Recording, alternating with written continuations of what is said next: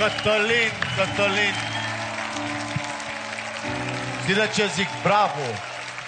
Pentru că uh, mă așteptam să aud o interpretare gen Chris Isaac.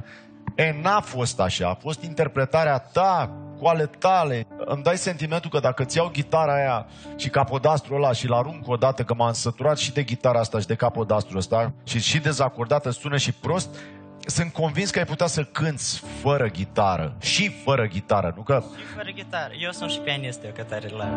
Băi, Cătăline, nu știu ce ai făcut, cum ai făcut, dar a fost foarte bine, mă. Bravo! Mersi, mă.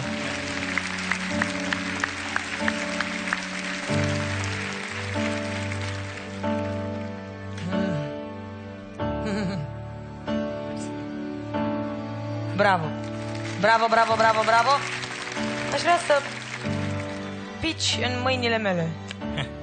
În acest sezon de X Factor. Mare Da. putere. Se-ar prinde tare bine, credem. Se-ar prinde cel mai bine.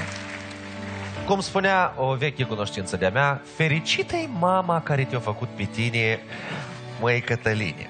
Uh, foarte fain și te-aș asculta și te-aș asculta. Sau aici, sau în subterană, dar mai degrabă aici. Păi, noi dacă avem așa muzică în subteraniu, tu, tu ți imaginezi și la noi la festivaluri.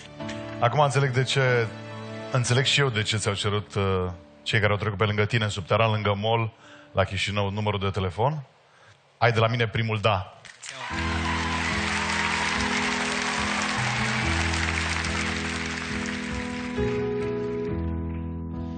Pentru o voce ca asta și o prezență, nu poate fi decât un mare da. Mersi, mă.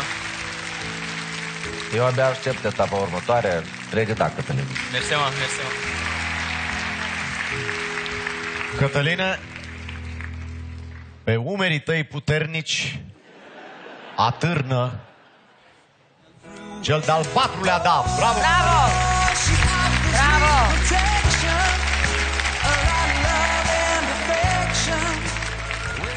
Ce o să fac? O să, o să mănânc și mai scot o coardă de la chitara aia, știi, fără să observe nimeni. Că tot așa va suna. Chitara de la X Factor e dezacordată.